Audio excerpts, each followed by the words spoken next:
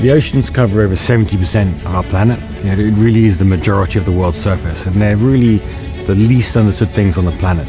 One of the big challenges in looking at global climate change and global variability is the lack of observations. CSIRO brings to the table a lot of expertise in engineering and technology to drive the development of new and innovative science observation platforms. The partnership with Saildrone and CSIRO is quite unique in that it provides opportunities for scientists who would not otherwise be able to go to sea to make very critical ocean observations.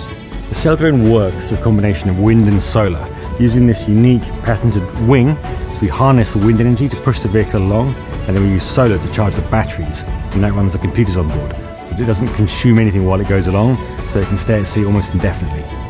CSIRO adds value to us in many ways. The prestige of working with such incredible research scientists dramatically shortens the timelines for integrations of new sensors for us, so we can deploy mission-ready drones much faster than we would have otherwise been able to do so.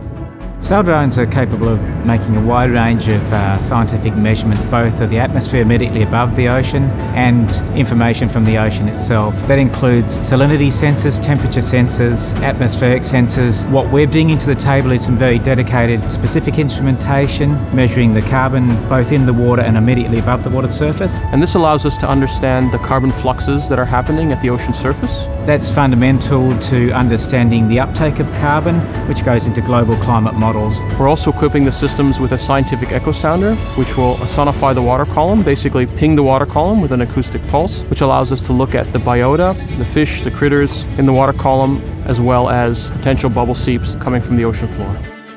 There's lots of opportunities to collect very interesting data with the Saildrones across Australian waters, in particular in areas of ocean energy research in the Southern Ocean and in Antarctic waters where we see very little vessel variability and vessel access, and in areas such as the Great Barrier Reef where we see lots of changes. The CSIRO is a world leader in global climate research. Our partners have access to over 5,000 researchers across uh, multiple disciplines. This means that working with us, we can help them bring their technology to the next level and remain on the cutting edge. There's so many problems facing the ocean, you know, it's a gargantuan task. Right now we have to sail drones from California down across the equator into the Southern Ocean, and that takes about six to eight months. But deploying from Hobart is a huge advantage to us. Having a research lab and scientists and engineering facilities in Hobart is incredibly valuable. CSIRO are well renowned for an incredible sense of innovation some amazing scientists, a bunch of really fun, uh, exciting and knowledgeable Australians who are taking this project to the next level in the Southern Hemisphere.